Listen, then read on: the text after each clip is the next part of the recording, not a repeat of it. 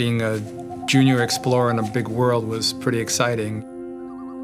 I think I've always just loved being outside. I've loved being in nature. And when I got a little older, I really got into rocks and minerals and fossils. The research that museums can accomplish provide us with baseline biodiversity data. Biodiversity is this complex issue. There's no simple answer, there's no simple solution. We are losing natural areas at an unprecedented rate.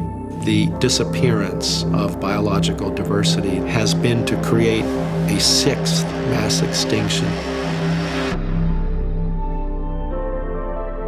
I would like to hope that we are getting smarter about our actions. We're putting more value on what is being lost. I think a lot of that can come through science, and the science that we do here at the museum is fundamental to facing these challenges. It's not just science for science sake, it's science to help us create a better world to live. We care for about 40 million specimens and objects.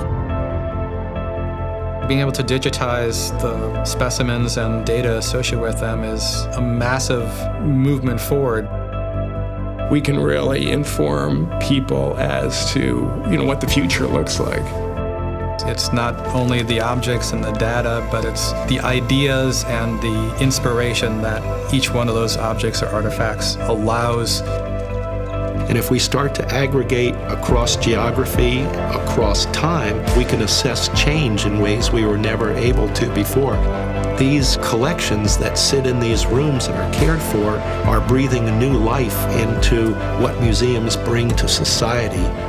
The next 40 or 50 years may be the most crucial window in human history you know, what we can do here. If we can get the public engaged and feel like we are all in this together. Understand that the world around us is really complex, exciting, and really worth fighting for.